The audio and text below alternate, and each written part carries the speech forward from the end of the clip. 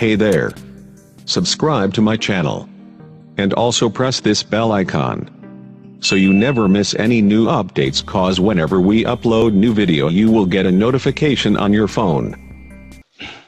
Hi friends welcome to the desk Deva English spoken class friends पिछली classes में मैंने voice का present and definite tense का passive sentences active to passive और passive to active change करने के लिए बताया था और आज मैं आपको बताऊंगा प्रेजेंट कॉन्टिन्यूस टेंस के एक्टिव टू पैसिव और पैसिव टू एक्टिव। ठीक है फ्रेंड्स? तो let's start the class of the day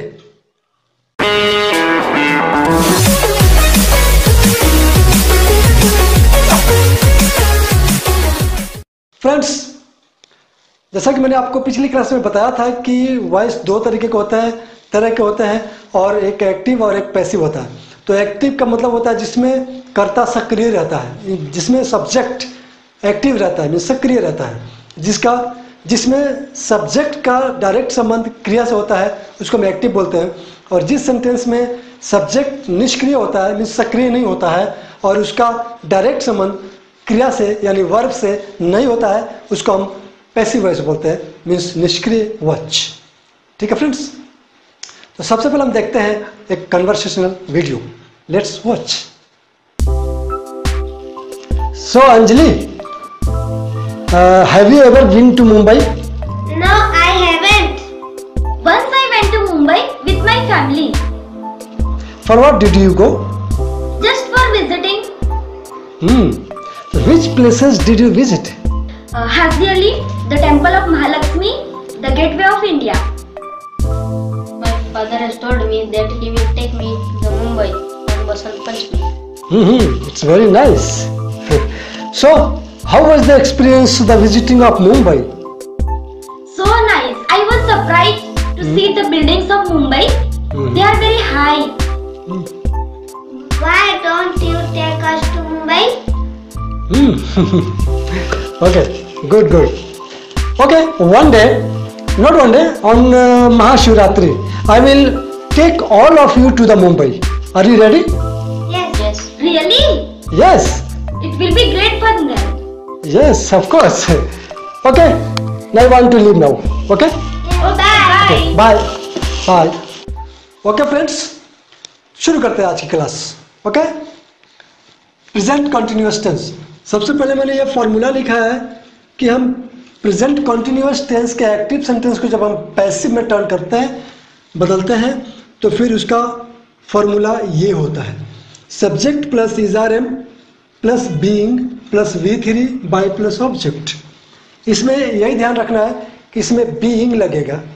ठीक है फ्रेंड्स इसमें बीइंग लगाना ज़रूरी है। प्रेजेंट कॉन्टिन्यूस टेंस में। प्रेजेंट इंडेफिनिट टेंस में क्या था?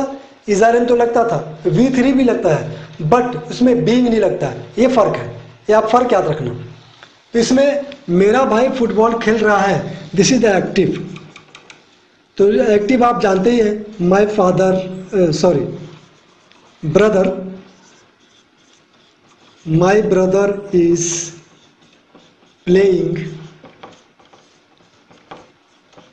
football my brother is playing football this is the active sentence अब इसका पैसिव हिंदी पैसिव मैंने लिख के रखा हुआ है ताकि आपको हिंदी में भी समझ में आ जाए। तो फुटबॉल अब यहाँ से शुरू होगा ना? फुटबॉल मेरे भाई के द्वारा खेला जा रहा है। उल्टा शुरू हो जाता है। पैसिव में हम उल्टा से शुरू करते हैं। तो फुटबॉल, द फुटबॉल, इज़, अब इज़ के बाद क्या लगेगा? Being being played by my brother ठीक है फ्रेंड्स अब यहाँ पर पैसिव बनाते वक्त, जैसा कि मैंने पिछली बार बताया था, सारे के सारे सेंटेंसेस में सेम फॉर्मूला लागू होता है। मीन्स एक्टिव का ऑब्जेक्ट पैसिव में सब्जेक्ट बन जाता है और एक्टिव का सब्जेक्ट पैसिव में ऑब्जेक्ट बन जाता है। जैसे इसका ऑब्जेक्ट यहाँ सब्जेक्ट बन गया और इसका सब्जेक्ट यहाँ आकर ऑब्जेक्ट बन गया। मिस फेर बदल हो जाता है। उस उसका जो लास्ट वाला है, इसमें शुरू में आ जाता है और उसका शुरू वाला इसमें, अंत में आ जाता है। ठीक है फ्रेंड्स थोड़ा सा, बस थोड़ा सा समझना है। इसमें बड़ी मुश्किल बात नहीं है। ठीक है फ्रेंड्स चेंज करने में कोई ज़्यादा मुश्किल नहीं आते। बहुत ही ईजी होता है। बस इसका इस्तेमाल लैंग्वेज में करना थोड़ा मुश्किल होता है, क्योंकि वहाँ पर, क्योंकि वहाँ पर ये पहचान नहीं पाते लोग, समझ नहीं पाते ज़्यादातर लोग। कि पैसिव सेंटेंस का इस्तेमाल हम लैंग्वेज में किस तरह से करते हैं और किसको हम पैसिव समझेंगे? कौन सा पैसिव समझेंगे? किस तरह से? तो वो चीज़ मैं आपको बाद में बताने वाला हूँ। उसका वीडियो मैं अलग से बनाऊँगा कि हम कन्वर्सेशनल वॉइस किस तरह से पढ़ते हैं। ठीक है? तो ये हो गया। आप समझ गए होंगे। अभी मैं पैसिव टू एक्टिव चेंज करके बताऊँगा एक। This is the passive sentence passive ये पैसिव सेंटेंस मैंने लिखा है प्रेजेंट कंटिन्यूस टेंस का।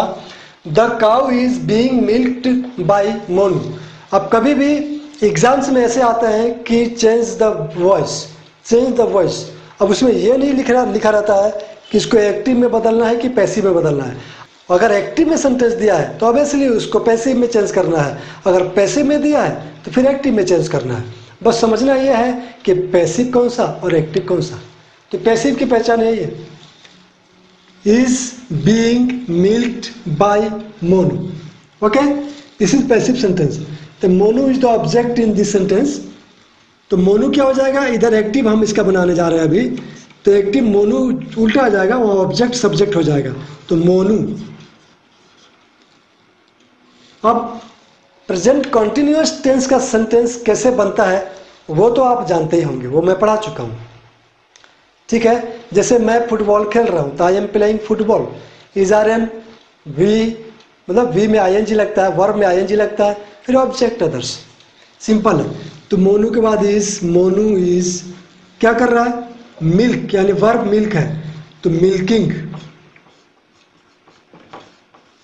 the cow simple okay the mango mangoes are being plucked by Sonu ठीक है the mango are being plucked by Sonu कौन सा है? ये पैसिव सेंटेंस है। इसका हम एक्टिव बनाएँगे। तो एक्टिव बनाएँगे तो बाई सोनू बाई के बाद जो आ रहा है ना, वो सब्जेक्ट यहाँ पर बन जाएगा। तो सोनू इसके साथ इज़ लगेगा। क्यों? क्योंकि सिंगुलर नंबर है। वो तो आपको बताने की ज़रूरत नहीं है। सोनू इज़ क्या कर रहा है? तोड़ रहा है। तो वर्ब क्या है? प्लक है। अब प्रेजेंट कंटिन्यूस टेंस के वर्ब में आई लगता है। Plucking the mangoes.